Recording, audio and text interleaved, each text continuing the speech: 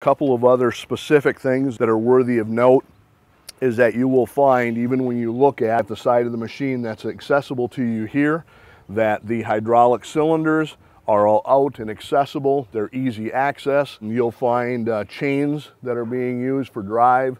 Uh, and the point really is, is that you have a lot of what I would call uh, simplicity from the standpoint of the equipment and not having a very difficult machine, whether it be uh, maintaining uh, familiarity, etc. You're dealing with a fully hydraulic operated machine that is driven by a uh, Honda engine and specifically uh, what you're going to see is a very straightforward layout.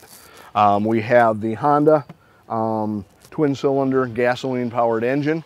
Um, so it's a very simple, straightforward, no different than your uh, oversized garden tractor engine from a uh, operation, maintenance and support standpoint. You also have a storage box that will allow you to, uh, to keep any basic things that you feel you need on the uh, machine so that it's readily accessible and not something that you have to come back to your base of operation. Um, in addition, on the front side of that is your gasoline uh, tank. So, uh, so you have the ability to uh, carry a fair amount of fuel on board.